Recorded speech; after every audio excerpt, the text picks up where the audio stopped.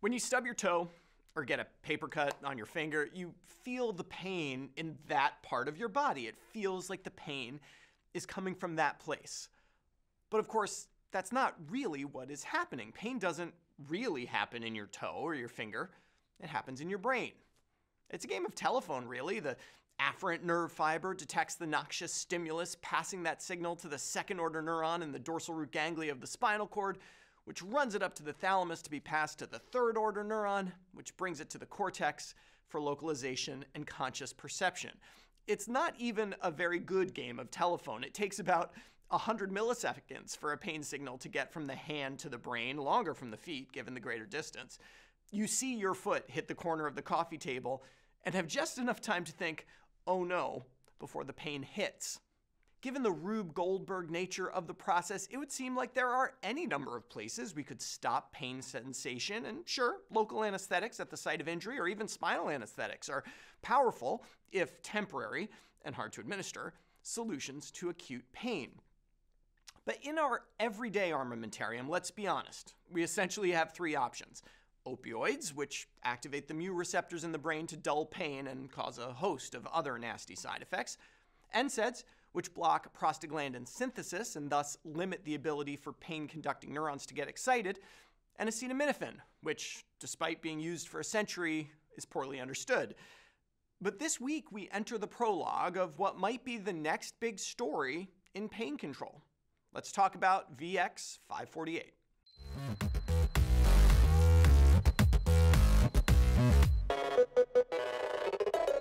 If you were to zoom in on the connection between that first afferent pain fiber and the secondary nerve in the spinal cord dorsal root ganglion, you would see a receptor called NAV 1.8, a voltage gated sodium channel. This receptor is a key part of the apparatus that passes information from nerve 1 to nerve 2, but only for fibers that transmit pain signals.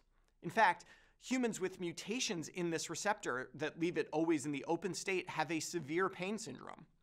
Blocking the receptor, therefore, might reduce pain. In preclinical work, researchers identified VX548, which doesn't have a brand name yet, as a potent blocker of that channel, even in nanomolar concentrations. Importantly, the compound was highly selective for that particular channel, about 30,000 times more selective than it was for the other sodium channels in that family. Of course, a highly selective and specific drug does not a blockbuster analgesic make. To determine how this drug would work on humans in pain, they turned to two populations 303 individuals undergoing abdominoplasty and 274 undergoing bunionectomy, as reported in a new paper in the New England Journal.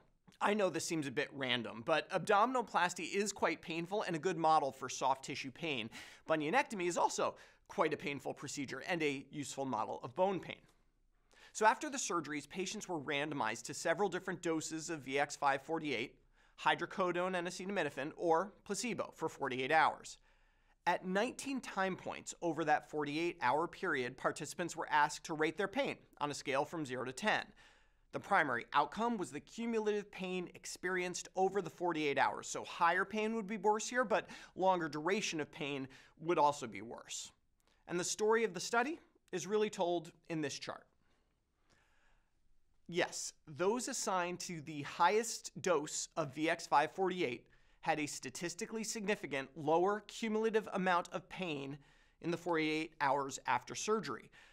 But the picture is really worth more than the stats here. You can see that the onset of pain relief was fairly quick and that pain relief was sustained over time.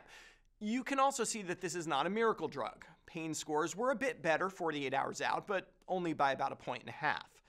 Placebo isn't really the fair comparison here. Few of us treat our post abdominoplasty patients with placebo after all. The authors do not formally compare the effect of VX548 to that of the opioid hydrocodone, for instance, but that doesn't stop us. This graph, which I put together from data in the paper, shows pain control across the four randomization categories, with higher numbers indicating more cumulative control. While all the active agents do a bit better than placebo, VX548 at the higher dose appears to do the best. But I should note that 5 milligrams of hydrocodone may not be an adequate dose for most people. Yes, I would really have killed for an NSAID arm in this trial. Its absence, given that NSAIDs are a staple of postoperative care, is, well, let's just say notable. Although not a pain destroying machine, VX548 has some other things to recommend it. The receptor is really not found in the brain at all, which suggests that the drug should not have much risk of dependency, though that has not been formally studied. The side effects were generally mild headache was the most common and less prevalent than what you see even in the placebo arm. Perhaps most notable, the rate of discontinuation of the study drug was lowest in the VX548 arm. Patients could stop taking the pill they were assigned for any reason, ranging from perceived lack of efficacy to side effects, and a low discontinuation rate indicates to me a sort of voting with your feet that suggests this might be a well tolerated and reasonably effective drug. VX548 isn't on the market yet. Phase 3 trials are ongoing, but whether it is this particular drug or another in this class, I'm happy to see researchers trying to find new ways to target that most primeval form of suffering pain. For Medscape, I'm Perry Wilson.